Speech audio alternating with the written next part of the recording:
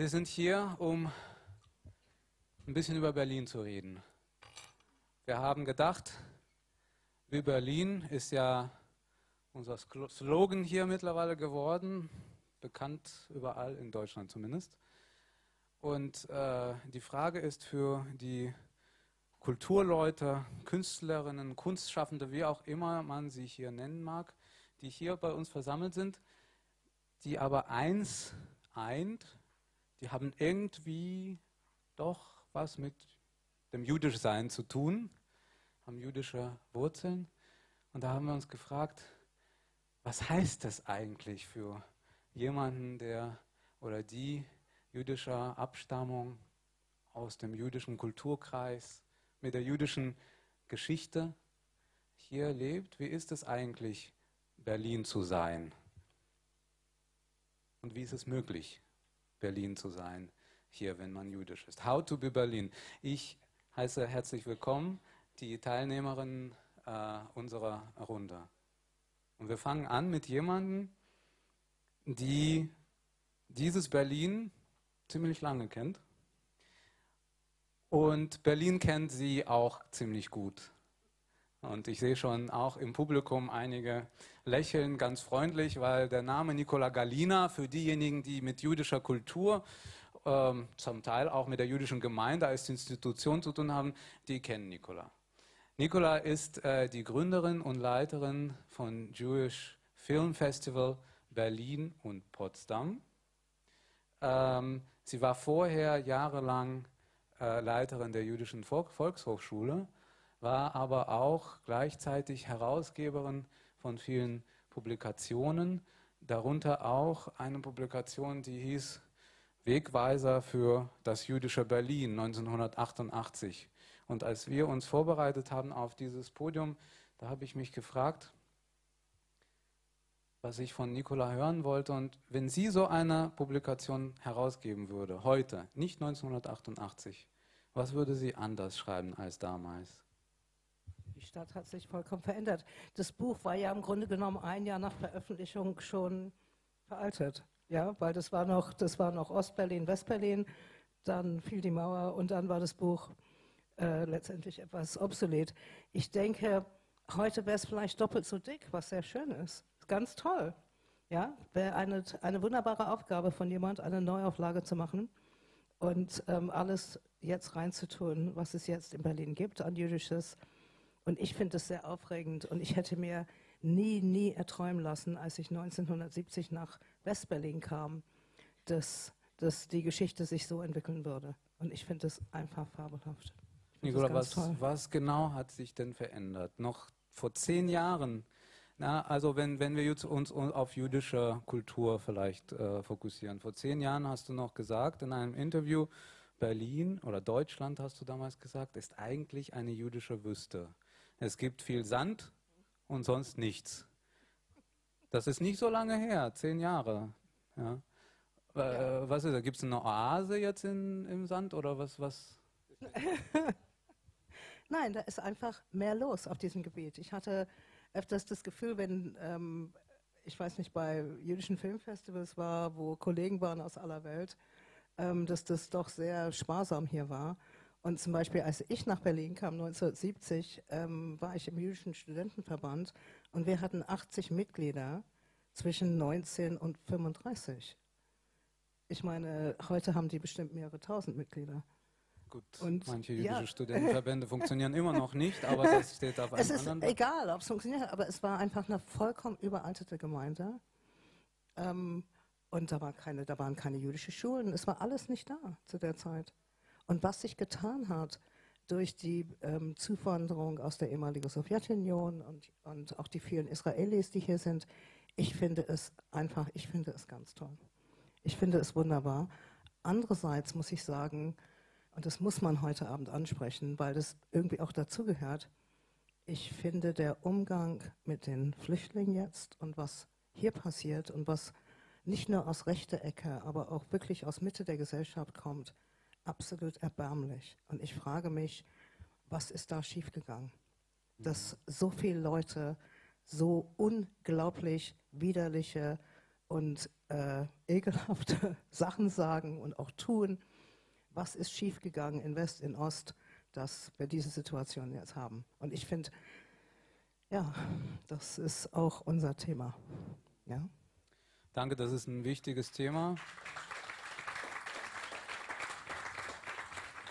In der Tat, und manche Künstler jüdischer Abstammung spitzen es auch zu. Oliver Pollack hat sich gerade geäußert in der Welt, glaube ich, wo er geschrieben hat, die Deutschen hätten 1945 lernen sollen, dass sie nicht nur mit Juden nett sein müssen.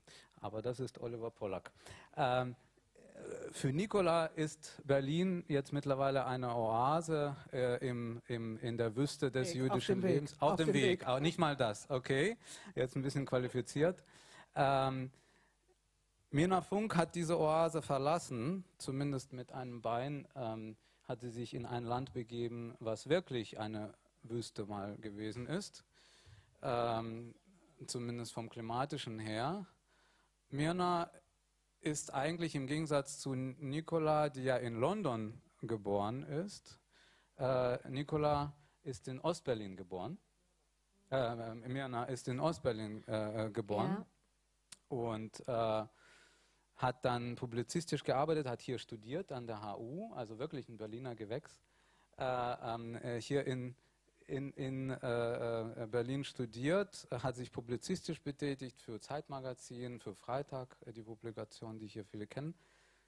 Und dann passierte irgendetwas und Mirna hat beschlossen, eigentlich ist diese Oase, von der Nikola jetzt äh, schwimmt, ähm, nichts für mich. Mirna, warum kannst du mit Berlin nichts anfangen? Naja, also ich kann mit Berlin noch ganz viel anfangen und ähm, äh, bin ja jetzt auch hier und bin, bleibe jetzt auch noch ein bisschen hier. Und ähm, äh, ich glaube, man muss das so ein bisschen differenzierter sehen. Ich äh, bin äh, letzten Juli nach äh, Tel Aviv, ähm, also 2014 nach Tel Aviv gegangen, um dort äh, an meinem Roman zu arbeiten und habe dort den, ähm, den Krieg erlebt und ähm, das hat dazu geführt, also nicht nur, dass ich den Krieg dort erlebt habe, sondern ähm, ähm, gesehen habe, wie ähm, die deutschen Medien mit diesem Krieg umgegangen sind, ähm, dass ich die Entscheidung getroffen habe, ähm, erstmal in Israel bleiben zu wollen und äh, Aliyah zu machen. Also, und das bedeutet für mich eigentlich ähm, ein, zum einen ein Standbein, äh, in Tel Aviv zu haben und zum anderen aber auch eins in Berlin. Also ähm, an zwei Orten äh, leben zu können und, ähm, ähm, und ja. Du hast aber ähm, dich doch ein bisschen mehr auch über Deutschland geäußert in dem ähm, Artikel in, in Im Zeitmagazin. Zeit, im mhm. Zeitmagazin. Hast du etwas gesagt, was darüber hinaus, also über das Thema Antisemitismus hinausgreift? Und das ist ein Zitat, was ich hier irgendwo auch sogar mir ausgedruckt habe, aber äh, äh das kannst du ja korrigieren. Ich mache es aus meinem Kopf. Mach mal. Deutschland. ähm, Deutschland ist so allglatt geworden. Also durch diese Auseinandersetzung nach dem Holocaust ähm, hat Deutschland die Ecken und Kanten verloren. So würde ich das zusammenfassen. Also es gibt irgendetwas mehr, was dich äh, hier treibt, auch als Künstlerin, dass diese Gesellschaft irgendwie für dich zu wenig Reibungsflächen aufmacht. Also wenn ich dein Buch hier Winternähe lese, ja übrigens das Buch gerade rausgekommen, ähm, was sich auch mit diesen Themen beschäftigt, äh, da ist auch genug äh, Thema, Themen zum Reiben und doch ist dir irgendwie doch nicht ausreichend. Ähm, ich glaube, mir geht es vor allem darum, äh, was mir aufgefallen ist und was ähm, auch äh, Teil des Buches ist, ähm, äh, ist einfach äh, die fehlende, ähm, so eine fehlende äh, Auseinandersetzung und so, ein so, eine fehlende Bereitschaft zum, äh, zum Dialog und zur, zur, zur Auseinandersetzung zur anderen Meinung hier in Deutschland. Also ähm, es geht oftmals darum, sehr schnell auf einen Nenner zu kommen. Und, ähm, äh, und das ist sozusagen ein Aspekt gewesen, der, ähm, den ich schwierig finde, den ich schwierig, schwierig auch finde im, im, Zusammen, im Zusammensein sozusagen, im alltäglichen Zusammensein. ähm, man, das ist so ein bisschen, man darf da nicht ausscheren, man darf nicht ähm, völlig anderer Meinung sein und da, das, da findet sozusagen äh, so, eine, ähm, so ein Glattmachen statt. Ähm, und ich glaube, äh, dass das natürlich viel damit zu tun hat, dass man sich mit seiner eigenen Geschichte, auch wenn man in Deutschland glaubt, man hat sich wahnsinnig mit seiner eigenen Geschichte beschäftigt, es eben dann doch nicht emotional getan hat, ja. Und, ähm, und viele Dinge ähm, äh, ausblendet sonst, und da gehe ich jetzt auch auf dich ein, äh, Nicola, sonst würden solche Sachen ähm, gar nicht stattfinden können, wie äh, im Moment äh, äh, in Bezug auf die Flüchtlinge passieren. Noch vor ähm, sechs Wochen, kurz bevor mein Roman erschien und ähm, die ersten, äh, der erste Teil des Romans äh, ähm, beschäftigt sich sehr also mit Antisemitismus und auch mit antisemitischen ähm, Übergriffen, die ich selbst erlebt habe. Ähm, und da war immer die Frage, Mensch, haben Sie diese antisemitischen Übergriffe denn wirklich erlebt und so? Und dann habe ich immer gesagt, ja, die habe ich wirklich erlebt ähm, das kann man ja überhaupt gar nicht glauben, das haben sie das nicht ein bisschen übertrieben und es gibt da einfach so einen wahnsinnig blinden Fleck, äh, wenn es um ähm, äh, um rechte Gewalt geht, egal sozusagen, ob ähm, es sich dabei um Rassismus oder um Antisemitismus handelt. Und ich meine, das war vor sechs äh, Wochen ähm, vor ähm, hier brennen, also ich meine, da werden dann Flüchtlingsheime angezündet und so. Und tr trotzdem sagt, ach, kann, ist das wirklich, hat Ihnen wirklich jemand Hitlerbart über die Oberlippe gemalt, ja. Also es ist ähm, äh, schon verrückt, ähm, wie äh, wie ignorant äh, man mit den eigenen ähm, Blindflecken und äh, äh, Schwierigkeiten in Deutschland umgeht. Äh, Hitlerbad, nur zur Erklärung, äh, das ist eigentlich die Eröffnungsszene ja. des Buches von Mirna, wo wir uns in einem Gerichtssaal befinden und dort findet eine Verhandlung statt und die sozusagen Klägerin oder Nebenklägerin oder die, oder die Geschädigte, ja, jetzt die Juristin mir, was man okay nennen wir sie Klägerin, ist diejenige, die sich beschwert hat oder angezeigt hat, ihre Freunde, die ihr Hitlerbart auf äh, ihr Foto äh, gemalt äh, haben. Und äh, ich will jetzt nicht zu viel verraten, aber da gibt es viel Unverständnis dafür, nach dem Motto, ja, was ist denn so schlimm daran? Und da gibt es eine, eine, abenteuerliche Entscheidung des Richters dazu. Ich weiß nicht, ob du dazu was sagen willst, was, was der Richter da gesagt hat. Ach so, ja, aber das ist ja, das ist ja Literatur. Also das, ähm, äh, das, ich bin auch sehr, also mir ist wirklich auch äh, auf einer Veranstaltung, auf einem Bild äh, ein Hitlerbad über die Oberlippe äh, gemalt worden ähm, und dann auf Facebook und Instagram und so weiter geshared. Ich habe diese Person auch angezeigt, aber ich bin nicht vor Gericht gegangen. Ähm, meine Protagonistin lasse ich sozusagen ähm, äh, stellvertretend vor Gericht gehen. Und was dann sozusagen vor Gericht äh, passiert, ist erfunden. Demnach auch der Richterspruch. Also deswegen, ähm, das ist mir dann nicht passiert. Ja, das, Aber äh, es hätte alles Mögliche natürlich vor Gericht passieren äh, können in ja. dem Fall. Danke. Allglatt, keine Kanten, keine Ecken. Ähm, ein Deutschland, was sich auch nicht sich selbst stellen will. Das ist äh, äh, die Perspektive einer hier geborenen äh, ostdeutschen Schriftstellerin. Olga Grasnova ist nicht hier geboren, die ist in Baku geboren am Kaspischen Meer äh, und kam erst mit elf nach Deutschland und erst mit elf Deutsch gelernt. Äh, und zwar so gut, dass sie jetzt alle Literaturpreise abräumt. Zuletzt äh, äh, von der äh, Bosch Stiftung ähm, Camisso-Preis für Förder, also ein Förderpreis für jüngere Stimmen mit diesem ich weiß nicht, mit diesem Buch, ne, wahrscheinlich. Äh, die juristische Unschärfe einer Ehe, das ist das letzte Werk, äh, was äh, verfügbar ist. Olga, du hast ja natürlich ganz andere Erfahrungen mitgebracht und du hast ganz andere Erfahrungen gemacht, auch unter anderem auch als jetzt juristisch gesehen jemand fast Flüchtling, ein Kontingentflüchtlinge, das sind die jüdischen Zuwanderer. Ähm, ich habe das Gefühl, du magst Berlin, du willst, du badest in diesem Berliner Bubble. Du bist bei Gorki äh, in einer äh, Atmosphäre, in einer Situation, wo alle irgendwie einen bunten Hintergrund haben im Gorki-Theater. Äh, ähm, du hast da persönliche Beziehungen unterschiedlicher, vielfältiger Art. Äh, teilst du diese skeptische Beurteilung von Berlin als Ort für kreative, äh, kreatives Leben einer jüdischen Künstlerin? Ähm, naja, ich muss vielleicht noch mal viel früher anfangen. Nach Deutschland zu kommen war für uns keine Entscheidung. Es war einfach die einzige Möglichkeit. Also damals, glaube ich, für die meisten Juden aus der Sowjetunion. Man, man, hatte die Wahl, entweder man zieht nach Russland, also wenn man in Teilrepubliken mhm. aufgewachsen ist. Und dann, also Russland war natürlich nicht die beste Idee in unserem Fall, oder eben nach Israel. Und da gerade der Golfkrieg ausgebrochen ist, war Israel auch nicht unbedingt die allerbeste Idee. Und dann blieb nur Deutschland. Also Deutschland war für niemanden der Wunschtraum Nummer eins oder überhaupt äh, auf der Landkarte. Und dann sind wir irgendwie in Deutschland hängen geblieben. Aber das war nicht so, dass ich jetzt entschieden hätte, wunderbar, Deutschland ist das beste Land, großartig, wir gehen da jetzt als Juden hin. Also äh, weit davon entfernt, das war einfach die einzige legale Einwanderungsmöglichkeit. Und ähm, irgendwie bin ich, ähm, wie glaube ich, sehr viele meiner Generation in Berlin hängen geblieben. Mhm.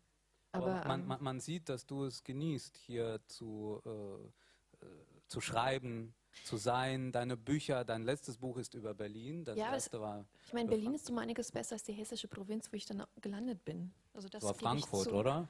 Ja, das war 50 Kilometer vor Frankfurt. Und wie ist es, wenn man nach Berlin kommt, gerade in, aus deiner Situation heraus? Wie hast du es erlebt? Meine Situation ist extrem privilegiert. Also jüdische Kontingenzflüchtlinge hatten von Anfang an einen unbegrenzten Aufenthaltsstatus. Und das kann man, kann man bei weitem nicht vergleichen mit den Flüchtlingen, die jetzt ankommen. Da kann ich auch dem vorher Gesagten nur zustimmen. Die Stimmung in, Deutschland wird immer schlimmer. Also nicht, dass es jemals äh, gut gewesen wäre. Das war einfach viel, unglaublich viel latenten Rassismus und latenten Antisemitismus, der immer in der deutschen Gesellschaft vorhanden war. Die Entnazifizierung ähm, hat nicht sonderlich weit gegriffen. Mhm. Und auch da kann ich Oliver Pollack nur zustimmen. Also wobei, ich glaube auch nicht, dass die Deutschen unbedingt gelernt hätten, so wahnsinnig nett zu Juden zu sein. Man hat sich nur ein bisschen verbal ein wenig besser im Griff. Mhm. Aber ähm, was zum Beispiel auch heute vorgeht, die Situation wird immer schlimmer und dann gibt es immer noch ähm, dieses Märchen in Deutschland, nie wieder Holocaust und wir tun alles, um das, ähm, um das zu verhindern. Aber was gerade vorgeht, spricht dagegen, also auch von der Politik, also nicht nur auf den Straßen, was, ähm, was die rechten Parteien machen, der rechte Mob, auch zum Beispiel die deutsche Politik.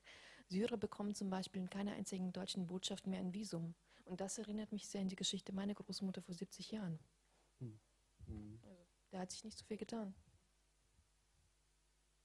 Ja, äh, ein trauriges Bild, was wir hier abgeben. Äh, Alexander Iskin. Äh, Alexander Iskin ist mit zwei Jahren äh, nach Deutschland gekommen und zwar aus, aus Moskau. Er muss nicht einschalten, ist, ist, äh, ist an. Und der ist äh, in der niedersächsischen Provinz gelandet, nämlich irgendwann in Goslar ähm, wo er zuerst mal äh, Tischtennis, äh, auf dem Wege war, Tischtennisprofi zu werden, würde ich sagen. Ja, der ist Leistungssportler. Äh, übrigens äh, drei Goldmedaillen bei den letzten Maccabi-Spielen. Zwei. Zwei? Du hast mir drei gesagt. Zwei. Trotzdem viel Applaus. Und äh, dann ist aber etwas fast wie ein Wunder klingt das. Also äh, das Wunder ist, dass es einen Kaiserringpreis in Goslar gibt. Ähm, das wusste ich zum Beispiel nicht, aber dieser Kaiserring ist wohl irgendwie ein Treffen von allen verschiedenen Künstlergrößen und äh, dieser, dieser Preis wurde verliehen äh, mal an David Lynch und dabei waren Herbert Volkmann und Jonathan Mese bekannte Performance-Künstler, Künstler, die hier äh, in Berlin leben. Und dort haben sie einen jungen Russen, wir sind ja alle Russen hier, äh, diejenigen, die aus Russland kommen, entdeckt. Und seitdem gibt es eine sehr enge Zusammenarbeit, äh, oder gab es eine sehr enge Zusammenarbeit äh, mit, mit den beiden. Mit einem ist es weiterhin ein sehr enges Verhältnis, so wie ich das verstanden habe, auch aus den Interviews. Herbert Volkmann ist ja vor kurzem äh, verstorben. Äh, Galerie Sechsauer ist äh, sozusagen deine Galerie und promoted äh, äh Alexander. 2014 gab es schon die erste große Einzelausstellung und im Sommer 2016 ist die nächste. Ein Maler, ähm, sozusagen, man könnte dich doch als Rising Star äh, der Kultur- und Kunstlandschaft, jüdischen Kunstlandschaft hier oder deutschen Kunstlandschaft hier nennen. Äh, und die Frage an dich, ähm, ich möchte gerne sozusagen dieses Thema, auch wenn es schwer ist, sozusagen die, die jetzige Flüchtlingslage, die ja wirklich dramatisch ist, erstmal außen vor lassen. Und ich möchte von dir hören, wie es ist. Also erstens, empfindest du dich überhaupt als jüdischer Künstler? Das ist ja die Frage, die eigentlich vorgelagert ist für unsere Diskussion. Und wenn ja, was tut es mit dir und was tut es mit Berlin? Ähm, in erster Linie empfinde ich mich ähm, als jüdischen Künstler. Ja, ich empfinde mich als jüdischen Künstler. Ich bin äh, nicht religiös, aber ähm, ich nehme es wahr als Information, als ähm, Herkunft. Ähm, ich denke, dass, ähm, dass die Identitätssuche, die, die ich, die ich vollführt habe in, in meiner Kindheit, also jüdischer Russe in einer Provinz, ähm, einzige jüdische Familie, dass das irgendwie eher mein, mein Gebiet ist, nicht das Judentum an sich. Ähm, ich äh, war irgendwie in meiner, in meiner Kindheit nie so richtig sicher, wo ich eigentlich, hinge wo ich eigentlich hingehöre. Und ähm, genau, und ich war halt meistens in der Sporthalle, habe ähm, hab Plastikbälle hin und her gespielt und ähm, das war eigentlich mein ganzer Lebensinhalt. Also viel mehr gab es da nicht. ähm, und genau, und irgendwann kam dann die Kunst ähm, dazu. Dabei, ähm, dabei bin ich auf äh, Jonathan Mese und Herbert Volkmann ähm, aufmerksam geworden. Jonathan Mese ist, ist natürlich bekannt für sein Spiel mit der deutschen Geschichte, mit ähm, also die, die Absurdität die Darstellung der Absurdität der deutschen Geschichte. Und ähm, ich fand es erstmal total interessant, dass er, ähm, also bei dieser Ausstellung, wo ich die beiden kennengelernt habe, dass er zum Beispiel Hitler gespielt hat. Das war für mich irgendwie eine, das hat mich irgendwie gereizt. genauso wie, wie Herbert Volkmann, der, der so ganz radi radikale Drogenbilder gemalt hat, zum Beispiel ähm, ein Bild, das heißt Nazis on Speed, wo er ähm, seine, seine also Drogen- und Kokainsucht thematisiert hat und einen Hitlerkopf ähm, umgedreht an, ähm, anstelle einer, einer Badezimmerlampe hängt. Und da drin sind die ganzen Heroinspritzen. Ähm, das hat mich irgendwie äh, total gereizt und deswegen habe ich ihn damals angesprochen und bin so nach Berlin gekommen. Nicht aufgrund der jüdischen jüdischen Schiene, sondern weil ich irgendwie was Neues gesucht habe. Ähm, das, was ähm, Alexander hm, erwähnt hat, äh, dieses Spiel, sozusagen Reaktion auf Reaktion äh, auf ein Kunstwerk. Ähm, ich habe das Gefühl, dass das auch etwas, womit du dich beschäftigst, auch über das Kunstwerk, also über dieses Buch hinaus. Du hast ja bei einem Gespräch letzte Woche gesagt, für dich ähm, beschränkt sich die künstlerische Erfahrung und die künstlerische Performance nicht auf das Buch, sondern auf alles, was davor und danach passiert. Was haben Sie dir die Reaktionen auf das Buch und die Interaktion mit dem Publikum in letzter Zeit gezeigt? Mhm. Also vor allem, äh, vor allem, was danach passiert. Das war für mich natürlich total, total spannend zu sehen, wie, ähm, wie, wie geht man hier mit diesem Thema um. Also dieses Thema ist ja nicht nur Antisemitismus im Roman, sondern eben auch der israel-palästinensische Konflikt und die Komplexität dieses Konfliktes. Und, ähm, äh, und was äh, mir vor allem aufgefallen ist ähm, in den äh, letzten Wochen, seit äh, der Roman erschienen ist, ähm, sind natürlich Dinge, die ähm, anscheinend, äh, die man gut aushalten kann und deswegen auch thematisieren in den Interviews. Interessanterweise wurde äh, viel äh, das Thema Antisemitismus ähm, äh, auch ähm, angesprochen. Ähm, der, und das fand ich sehr aufschlussreich, damit hätte ich jetzt so nicht gerechnet. Der, äh, der der Krieg, äh, der Gaza-Krieg des letzten Jahres, der doch einen großen äh, Rahmen irgendwie in diesem Buch hat, wurde also überhaupt nicht, äh, nicht angesprochen. Also wie, wie, wie hat sich das angefühlt, dort zu sein? Wie war dieses Erlebnis? Es wurde letztes Jahr in den Medien wahnsinnig viel darüber gesprochen. Ja. Ähm, aber ähm, was ganz schwierig ist, ähm, scheinbar ist die Reflexion darauf, wie denn darüber gesprochen würde, wurde. Also das ist ja genau das, was ich im Roman thematisiere. Über den Krieg. Genau, also wie wurde über den Krieg gesprochen, in was für einer Art und Weise, ähm, wie hat man auch in den sozialen Netzwerken sozusagen sich positioniert und, ähm, und jetzt mal die Frage zu stellen, warum eigentlich, warum formulieren wir bestimmte ähm, äh, Titel äh, in, äh, von Artikeln in deutschen Zeitungen so und so, ja, also warum ist dann äh, Israel der Aggressor, ähm, warum ähm, gibt es eine große Identifikation ähm, mit, den, mit, den Palästinensern? Was hat das mit unserer eigenen Geschichte zu tun? Äh, gibt es eigentlich auch ein Gefühl von Verantwortung ähm, in Deutschland für die Palästinenser aufgrund sozusagen der Geschichte? Ja, also ähm, die, all diese Sachen, die ich ähm, mir natürlich auch gewünscht hätte und die ein großes Thema in diesem Roman sind, äh, sind ausgeklammert worden. Ähm, und, äh, und das finde ich, also das ist, äh, äh, finde ich natürlich spannend. Und das war auch das Spannende für mich zu sehen, was wird sozusagen ausgeklammert und was wird ausgehalten. Mhm, mh. Äh, Olga, eine Frage an, an das dich? war aber, bei meinem ersten Roman ja. übrigens genauso. Der spielt auch zum Teil in mhm. Israel und Palästina und das war das Thema wurde null behandelt. Also Interessant. Also Migration ja, wo ich mhm. überhaupt nicht dachte, dass es darum geht. Das ist, das, das ist der Roman Der Russe, der äh, ist. Ist einer der Bergen liegt. Einer, genau.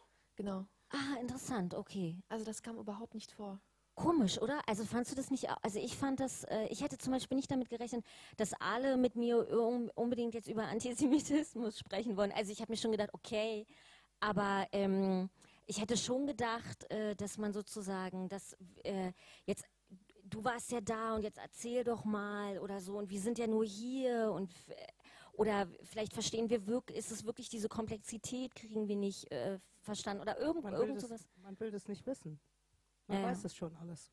Man weiß es schon. Man, man weiß, wer die Guten sind und wer die Bösen sind. Mhm. Und sie machen die Leute nur verrückt mit irgendwelchen anderen Olga, und was machen wir damit? Ja. Also ich meine, was du schreibst ein Buch, ein Drittel des Buches äh, spielt in Israel und dann findest du dazu nichts äh, äh in der Presse oder wenig. Ne? Also was bedeutet es für dich als die Mutter dieses Werkes?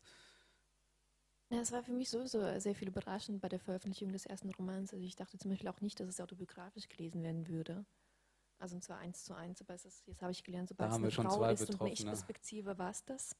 Mhm, mh. So bei mir ist es nicht meine Ich-Perspektive und alle denken, fragen, oh, und Hanna, Gershom, alles noch okay bei genau. denen? Und so, naja, die gibt's nicht, aber.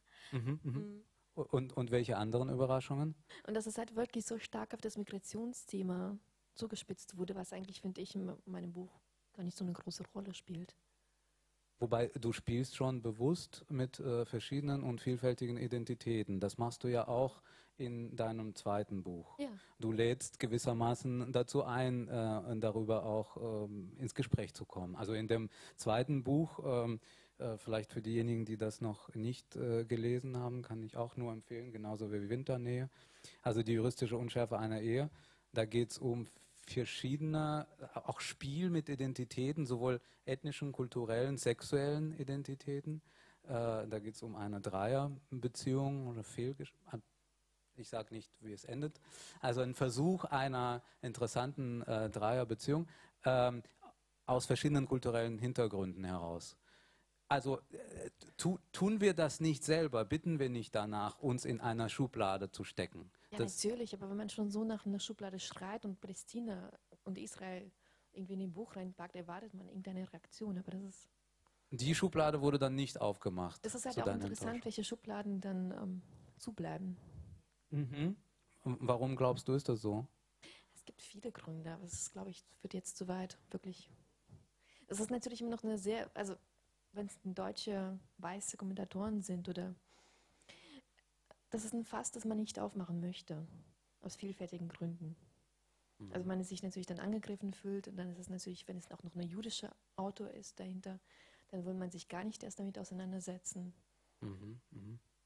Und äh, was ist, wenn man in gar keine Schublade will? Also gibt es hier jemanden, wenn man kann man heutzutage ein jüdischer Künstler in Berlin sein oder Künstlerin, ohne über Identität zu schreiben, über Geschichte zu schreiben oder über Israel zu schreiben? Oder kann man, also oder oder zu malen?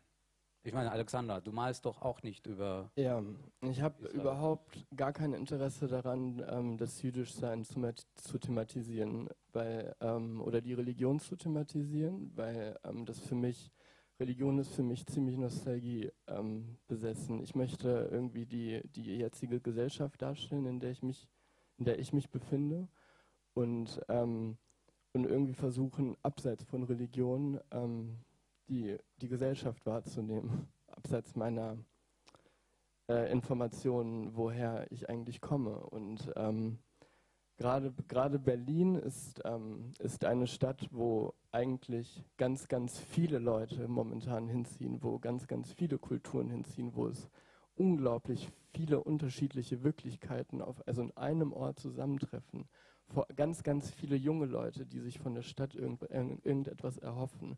Unendlich viele Strömungen, Musikströmungen, Kunstströmungen, was weiß ich, alles. Und ähm, das ist eigentlich das Interessante an der Stadt. Das ist eigentlich dieser Wunsch, irgendwas, irgendwas zu sein und ähm, irgendwer zu werden.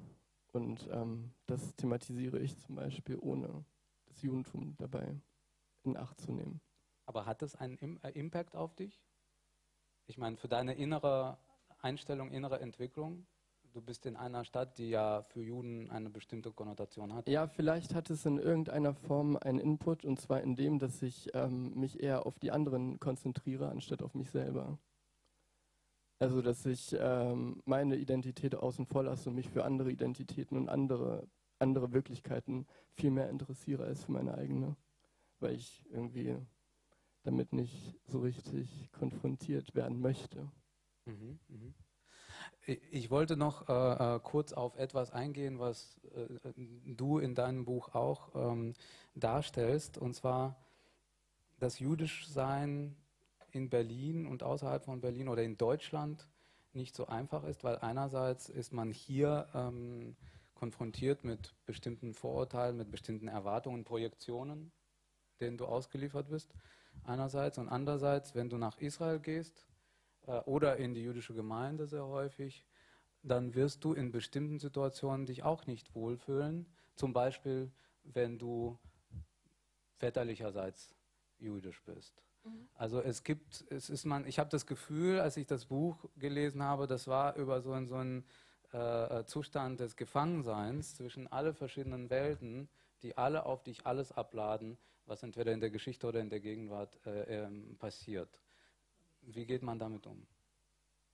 Ähm, äh, äh, ach, ich glaube, ähm, wichtig ähm, ist, sich, ähm, sich dessen bewusst zu sein, sich damit auseinanderzusetzen. Ähm, auf der anderen Seite aber auch ähm, finde ich, ein äh, was ganz Besonderes, also zu verstehen, dass es äh, ganz viele gibt. Also es gibt ganz viele, die ähm, äh, keine jüdische Mutter haben, äh, aber einen jüdischen Vater und ähm, dann jeweils immer von dem Gegenüber ähm, bestimmt werden und die Identität bestimmt wird und ähm, äh, es gibt äh, es gibt da eben also und die wir alle ähm, äh, haben da tragen sozusagen dieses äh, Schicksal irgendwie nicht genug zu sein oder was auch immer. Und äh, trotzdem aber äh, Identität mitbekommen zu haben und ähm, äh, und ähm, was ich als schöne Erfahrung ähm, machen konnte, ist die die wirklich die die Auseinandersetzung sozusagen mit äh, mit anderen, denen es ähnlich geht. Und dann ähm, und dann guckt man sich so an und sagt, naja, was soll man halt machen? So ist das eben, ja. Also äh, und ähm, das, das, das denke ich, ist sozusagen eine Form, damit gut, äh, gut umzugehen und ähm, und eben auch zu verstehen, ähm, ist das jetzt wirklich wichtig für einen oder nicht wichtig für einen. Mhm. Olga nennt es ähm, kulturelle Performance, also jüdisch sein als kulturelle Performance. Was meinst du damit? ist auf jeden Fall in einem anderen Zusammenhang auch gestellt. Also es ist einfach nur, ähm, was ich damit meine, ist es nicht unbedingt religiös zu sein und tatsächlich an Gott zu glauben oder an ähm, tatsächlich alle Rituale so zu tun, wie es auch gemeint wäre.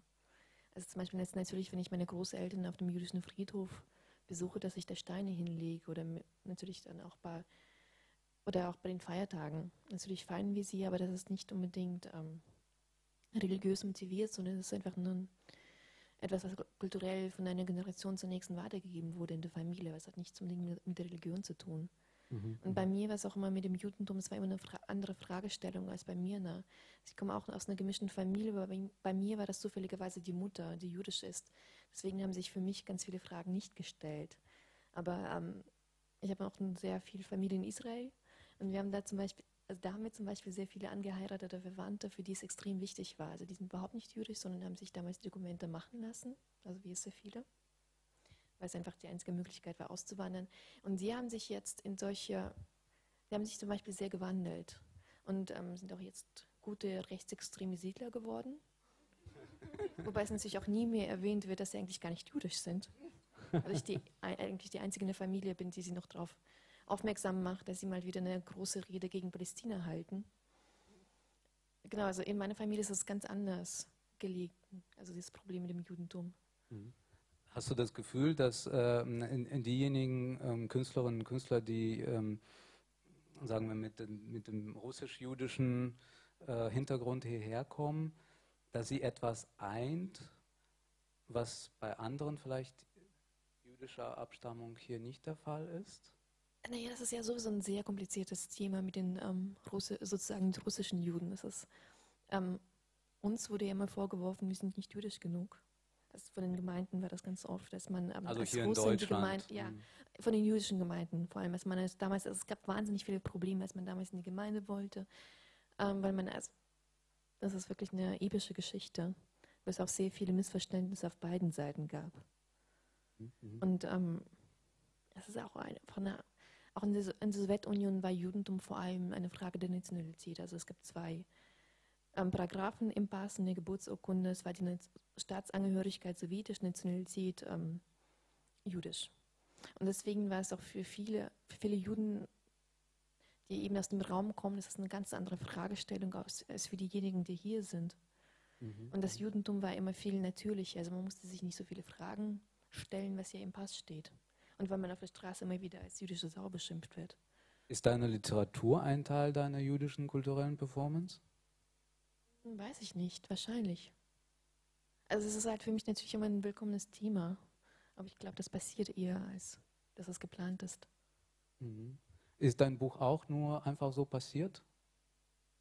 Das ist auch einfach nur so passiert, ja. Also das war ähm, nicht, äh, nicht geplant, sondern äh, ist ähm, äh, habe ich äh, plötzlich angefangen zu schreiben und das, ich hatte das Gefühl, es gab sozusagen eine Geschichte und es gab auch Protagonisten, die plötzlich also sagten, hör zu, wir sind jetzt äh, in deinem Buch und so, mach mal, schreib mal was.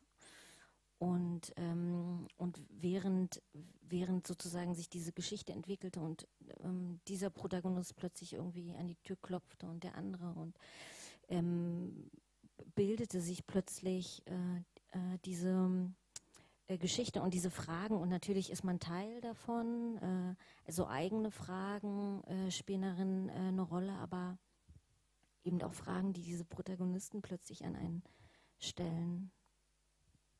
Wie war das äh, früher, Nicola? Ähm, gab es wir wissen ja alle, dass natürlich ähm, jüdische Menschen und jüdische Künstler, die hier in Deutschland wohnen, ähm, wir sind eine Projektionsfläche. Also wir als Juden, ich bin jetzt kein Künstler. Ähm, das wurde früher ziemlich manifest äh, behandelt und so eingesetzt. Gibt es da eine Entwicklung zu einer Selbstverständlichkeit der jüdischen Kulturschaffenden als deutscher Kulturschaffender, als Berliner Kulturschaffender und nicht nur als Projektionsfläche oder um Erwartungen zu bedienen? Ich denke, es ist entspannter, weil die auch jünger sind. Mhm. Ähm, wenn das Leute waren, die erste Generation nach dem Krieg, das war dann ähm, noch, noch, wie sagt man, noch krampfiger sozusagen. Aber ich denke, bei den, bei den jungen Leuten, die ich hier sehe, ich denke, das ist, das ist wieder eine Generation weiter. Und das, es entschärft sich langsam. Aber es ist, ich meine, man hat einfach als Hintergrund eine extrem ähm, traumatische Situation für beiden Seiten.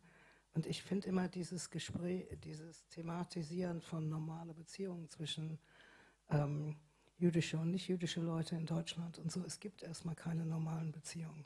Es kann es gar nicht geben, weil das Verbrechen so immens war, dass es beide Seiten auf Generationen ähm, beschäftigen wird. Ja, und ja, es wird noch sehr lange dauern, denke ich, bis man auch besonders auch von deutscher Seite ein bisschen mehr versteht. Ich meine, ich mache seit 21 Jahren ein jüdisches Festival in Berlin und seit zehn Jahren in Brandenburg, wird mit einbezogen, Potsdam und Umgebung. Und ähm, es gibt noch immer ganz, ganz viele Leute, die überhaupt nicht verstehen, was ein jüdisches Filmfestival ist. Nein, das sind nicht die Regisseure, die jüdisch sind. Es ist nicht ein israelisches Filmfestival. Es ist auch kein Filmfestival von Holocaust-Filmen. Das ist ein Filmfestival, wo das Thema des Filmes jüdisch sein muss, in irgendeiner Form. Ja? Und es gibt über 200 jüdische Filmfestivals in aller Welt. Und es ist was ganz Normales, außer hier, wo immer Leute kommen und sagen, ja, was ist denn das? Und kann man dann als Nicht-Jude überhaupt hin? Diese Frage höre ich auch öfters. Das ist auch schon sehr erstaunlich. Mhm. Ja. Du hast ja ein ganzes, ein ganzes Band äh, herausgebracht. Äh, was ist jüdischer Film? Ne? Genau, das haben wir vor zehn Jahren gemacht und das war auch sehr schön. Was war das die schönste Antwort dort? Oh, ich weiß nicht, ja, von einer Kollegin von mir aus München, die sagt, ja, das ist das Publikum. Wenn das Publikum da und dazwischen redet und redet und isst und äh, trinkt und so weiter und sehr laut ist, dann ist es ein jüdischer Film oder sowas. Okay, wir haben kein jüdisches Publikum heute hier. Nein, Kompliment. Die sind alle ganz brav. ja, genau. Es gab ja noch eine äh, sehr amüsante, wenn ja. auch für manche beleidigende Antwort von Peter Stein aus San Francisco, ja. aber ziemlich witzig eigentlich ja. in ihrer Knappheit, die Antwort, wo er gesagt hat. Wo er das verglichen hat mit Pornografie. Er nee, gesagt hat, nee, ich weiß nicht, was es ist, gesagt, aber ich erkenne es wenn ich sehe. Ja, aber ja. er hat, er hat glaube ich, auch äh, das ist ein äh, gesagt. Zitat von jemand anders, aber ja. Ein jüdischer, ja. jüdischer Film ist deswegen jüdisch, weil die Mutter vom jüdischen Film jüdisch ist. ähm, und da sind wir wieder bei dem Thema sozusagen mütterlich ja, oder väterlicherseits. Diese Geschichte mit, mit ähm, ja, wie man, wie man das definiert, ja, ob es nur über die Mutter geht. Ich meine, in Amerika sind die viel, viel weiter und in ganz vielen jüdischen Gemeinden äh, sieht es da ganz anders aus und da ist es gleichberechtigt, ob jüdischer Vater, jüdische Mutter.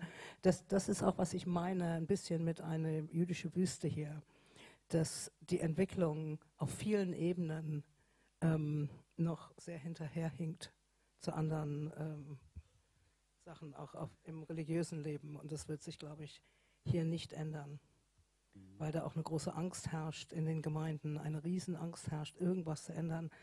Und es gab mal vor einigen Jahren gab es einen jungen Rabbiner aus Amerika, der sich vorgestellt hat hier in einer Synagoge und hat auch den Gottesdienst gesehen und hat nachher, also bei einem Abendessen gesagt, das war eine eingefrorene Gottesdienst.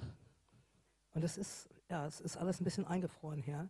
Es taut langsam, langsam, langsam mit unterschiedlichen neuen Sachen auf, aber es wird sehr lange dauern, weil da ist auch sehr große Angst vor Veränderungen, vor was anderes machen hat auch was damit zu tun mit der Geschichte der Leute, die in diesen Ämtern, man kann sie nicht verurteilen dafür. Mhm. Ja, ich denke, wenn man einfach zu viel mitgemacht hat, dann will man, Gottverdammt, noch keine Änderung mehr. Man, es bleibt so, wie es ist. Und das, ja, es ist manchmal schwierig und ich finde es sehr problematisch, solche Einstellungen. Ja. Wie wird euer mhm. Werk von der jüdischen Seite perzipiert? Also äh, gibt es da ähm, Erfahrungen? Ich meine, das, was ähm, Olga zum Beispiel schreibt, ist ja auch ähm, ziemlich provokant für viele äh, jüdischer Herkunft. Also ich meine, das Buch ähm, eigentlich ist eine Provokation für sowohl deutschsprachige Juden, wenn sie ein bisschen orthodox und konservativ sind, äh, als auch für russischsprachige Juden, die, die per, sozusagen ihrer sowjetischen äh, Erziehung schon konservativ sind. Da ist viel Homosexualität, äh, undurchsichtige äh, Liebesbeziehungen, alles Mögliche äh, ist da auch ziemlich ehrliche Szenen, bei dir übrigens auch.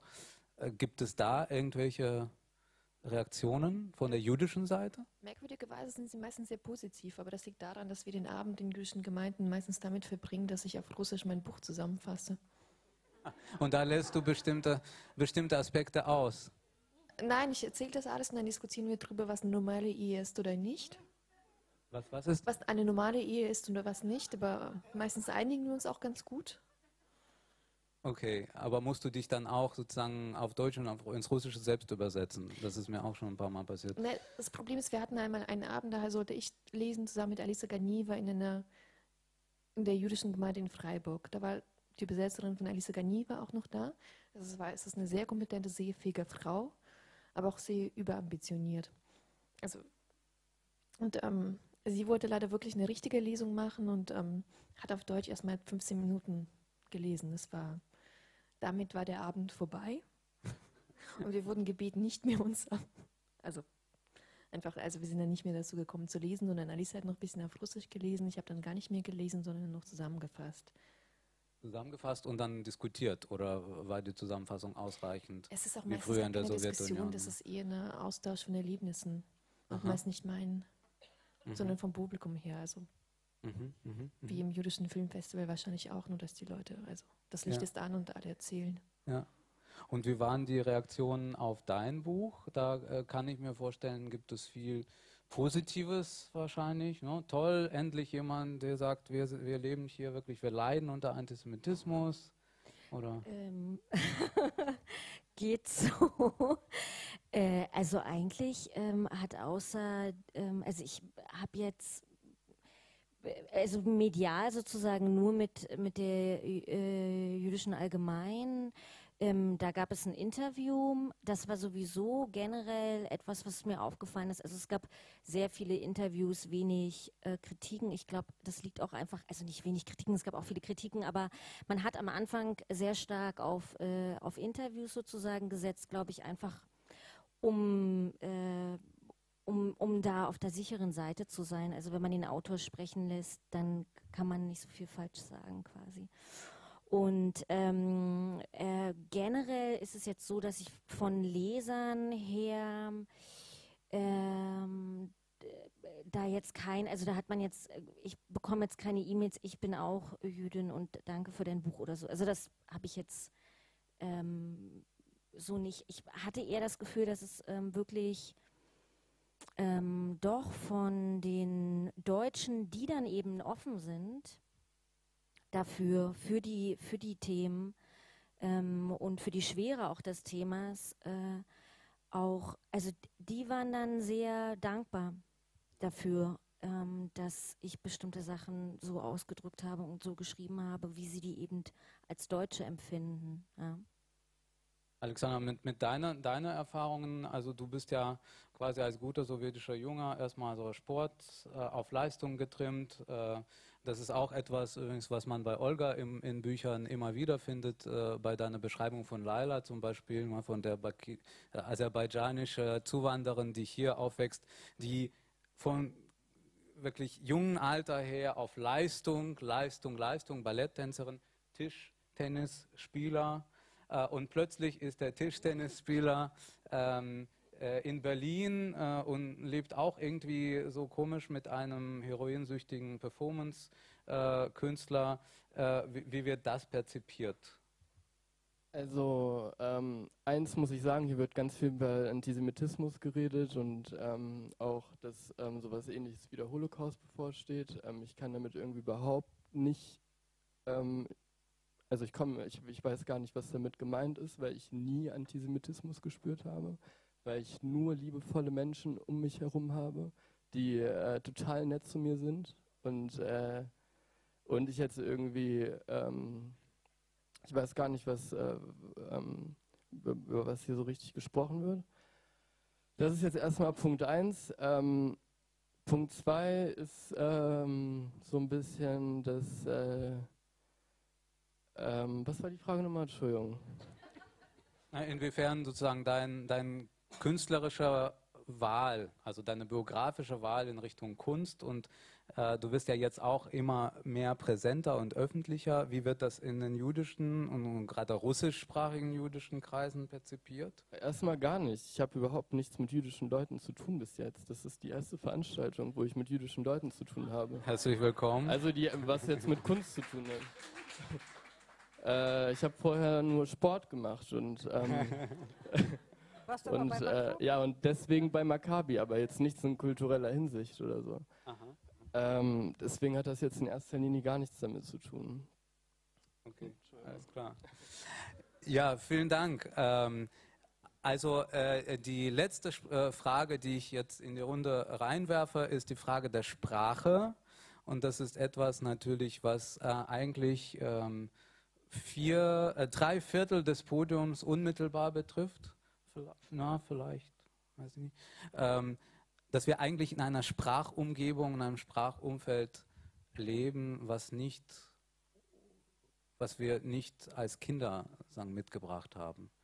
Äh, Bei Nicola ist das vielleicht äh, schon so, weil deine Eltern äh, in Deutsch England gesprochen. schon Deutsch haben Deutsch gesprochen gesprochen, haben, aber das ist auf jeden Fall nicht ähm, sozusagen die natürliche sprachliche Umgebung äh, für die öffentliche Betätigung Nein. In erster Linie. Und äh, bei Olga im Buch ähm, ist also vor allem im ersten Buch ist ja die Protagonistin jemand, die sich wirklich mit Sprachen polyglott be äh, beschäftigt. Sie spricht irgendwie Französisch und Italienisch und alle möglichen Sprachen. Ähm, was bedeutet es für Künstler, die äh, nicht aus Berlin sozusagen biografisch kommen, hier im deutschen Sprachraum anzukommen? Gibt es da Hürden oder fühlt man sich absolut zu Hause? Oder äh, gibt es da Erlebnisse, die einem zeigen, das hat ja mit dem Jüdischen weniger zu tun, aber mit dem Migrantischen sehr häufig, ähm, dass man vielleicht nicht hier wirklich zu Hause ist oder ist das nicht mehr äh, das Thema? Mittlerweile gibt es in Berlin diesen Luxus, dass man Deutsch nicht unbedingt sprechen muss, sondern noch mit Englisch ganz gut äh, vorwärts kommt. Das ist zum Beispiel ähm, mein Mann ist Syrer, der ist seit 2012 in Deutschland, der hat sich noch nicht bemüht, Deutsch zu lernen. Also der hat dreimal nach einem großen Ehestreit angefangen, einen Kuss zu machen, aber ähm, Obwohl er selbst Schauspiel. ja, der spielt jetzt in Englisch. Der spielt in Englisch auf im Gorki-Theater, wenn ich das richtig verstehe. Ich glaube, der hat jetzt zwei deutsche Sätze. Und das kriegt er hin. Mal schauen. Wie war das für dich, äh, Nicola? Du bist äh, in der Zeit hierher gekommen, wo es vielleicht nicht selbstverständlich war mit Akzent oder wie auch immer. Nein, bei mir war es eigentlich sehr komisch, weil ich alles verstand, aber nichts sagen konnte. Und ähm, ich habe, denke ich, ein gutes Jahr gebraucht, bis, das, bis die Sprache wieder kam, Mhm. weil ich das nicht mehr sprach. Ich, ich bin mit sechs oder fünf eingeschult worden in England und da sprach ich überhaupt kein Deutsch mehr. Man will sich ja anpassen, man spricht nur Englisch. Die Eltern haben beide, beide Englisch und Deutsch gesprochen, aber ich habe dann eigentlich außer englische Abitur in Deutsch, was eigentlich mit der Sprache nichts zu tun hat, äh, kaum Deutsch gesprochen. Und ja, ich merkte, als ich hierher kam, dass ich eigentlich alles verstand, aber mich nicht äußern konnte. Das war sehr merkwürdig. Ja. Ähm, wir sind in einem multikulturellen Berlin, multisprachlichen, multilingualen äh, Berlin. Wir sind in einem Berlin, was auch manchmal sich nicht richtig zwischen Berlin und einer anderen Stadt entscheiden kann, also Tel Aviv oder Berlin gehen oder bleiben, äh, oder vielleicht noch andere Städte oder Goslar oder Berlin gehen oder bleiben. ähm, hat das, was wir hier haben, äh, jüdisch, russischsprachig, russischstämmig, vielleicht nicht sprachig, aber russischstämmig, israelischstämmig, englischstämmig, ostdeutschstämmig, hat das hier als diese neue künstlerische Symbiose eine Zukunft oder ist das etwas wie eine Oase äh, oder vielleicht nur der Schein einer Oase, dort Widerhall aus den 20ern vielleicht? Wird es jemals hier möglich sein? Du hast ja gesagt, es wird keine Normalität, keine jüdische Normalität hier geben. Aber kann es eine künstlerische jüdische Normalität hier geben? Das sind ja zwei unterschiedliche Fragen. Man kann ja in solchen Situationen eigentlich ganz na viel natürlicher vielleicht sich verwirklichen und vielleicht noch schöner schöpfen, gerade weil man zwischen allen Welten hier steckt. Ich glaube, es muss gar keine Normalität geben. Genau. Also ich glaube, dass äh, ähm, gerade vielleicht dieses, äh, dieses äh, Nicht-Normale oder dieses zwischen zwei Städten leben oder zwischen Identitäten leben oder zwischen äh, Kulturen leben, ist dann auch das, was einen immer wieder ähm, ja auch selbst wahnsinnig bereichert und ähm, ähm, und was schön wäre, wenn das hier mehr, also nochmal mehr verstanden wird, dass gerade sozusagen dieser Konflikt zwischen was auch immer, zwei, zwei Seiten, die irgendwie nicht zusammenpassen, ähm, ein, äh, ein großes Potenzial bietet an ähm, Erfahrung und Erkenntnis und ähm, auch Mitgefühl quasi, ja, also durch diese sozusagen nicht vereinbaren Seiten. Und ähm, deswegen glaube ich, dass äh, Berlin schon ganz, äh, ganz schön ist und ähm, äh, auch ganz besonders. Äh, für mich ist es jetzt eben so, dass sicherlich noch, also dass quasi beide Städte einfach auch was, was bieten und dieses Hin und Her etwas noch für mich sozusagen bietet, was ich genießen kann. Also nicht nach Bangkok äh, fliegen wie am Ende deines Buches, sondern du kannst schon wunderbar zwischen den beiden Städten. Man sollte auch noch nach Bangkok fliegen zwischendurch. Also nur Berlin und Tel, Tel Aviv, das ist, glaube ich, auch, auch, ein bisschen, bisschen ermüdend. auch ein bisschen ermüdend, ja. Ähm, äh, ja. ja. Alexander, du wolltest was sagen? Ja, ich glaube, dass ähm, jegliche Grenzen jetzt schon total verschwommen sind und es nicht mehr das normale Jüdischsein geben sollte. Es ist eine Selbstverständlichkeit und äh, genauso ist es eine Selbstverständlichkeit, dass es in der Künste oder in der kulturellen Branche einen Islam gibt. Und äh, es ist eh irgendwie durch das, durch die eigentlich, eigentlich durch die Erfindung des Internet, Internet sind alle Grenzen total verschwommen, meiner Meinung nach. Und, äh, und deswegen ist es, äh, ich habe jetzt von so einem App gehört, das jetzt rausgekommen ist, ähm, muss, ich, muss ich kurz sagen, Periscope heißt das. Das heißt, dass, ähm, dass Leute Live-Aufnahmen, also Live-Videos von sich machen können. Und ähm, in dieser App ist die Weltkarte und man kann mit einem Klick sagen, okay, jetzt möchte ich mal kurz nach Südamerika und dann äh, 0,5 Sekunden später, jetzt möchte ich mal kurz nach China und gucken, was die Leute da machen. Deswegen ähm, ist das eigentlich für mich schon passiert. Ja. Sollen wir auch für jüdische Künstler vielleicht auch, äh, wo man draufklickt und ist man russische Identität, jüdische Identität, deutsche Identität, alle unsere Identitäten aufzählen. Olga, wären das nicht für uns? Ich glaube schon alleine, wenn man über Identitäten spricht oder über das Judentum an sich, das ist schon entlarvend. Wenn wir heute Abend über das Judentum sprechen, meinen wir doch eigentlich nur das Aschkenasische. Also es ist einfach nur ein kleiner Teil des Judentums, worüber wir eigentlich heute auf dem Podium sprechen. Als ob wäre es selbstverständlich und als ob es wäre die Norm für das Judentum schlechthin. Ich glaube, ich glaube, dass die nicht-aschkenasischen Juden, die hier sind, die haben wahrscheinlich ähnliche Erfahrungen oder ähm, korrigiere mich, wenn ich da. Ich, klar, ich nehme an, das ist ganz anders. Also ich glaube, dass äthiopische Juden oder eben sephardische Juden eine ganz andere Erfahrung haben. Mhm, mh. Das stimmt, dass die Mehrheit hier, auch durch die Mehrheit der so, so, sowjetischstämmigen Juden natürlich aschkenasisch, aber auch davon.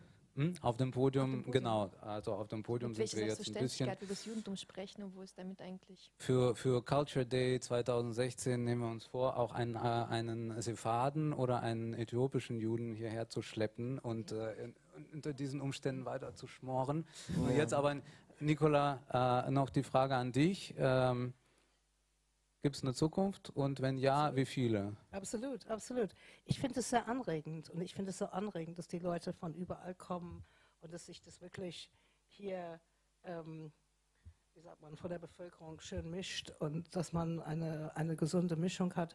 Als ich aus London kam, fand ich das hier alles sehr langweilig. Die waren alle so deutsch. That was it.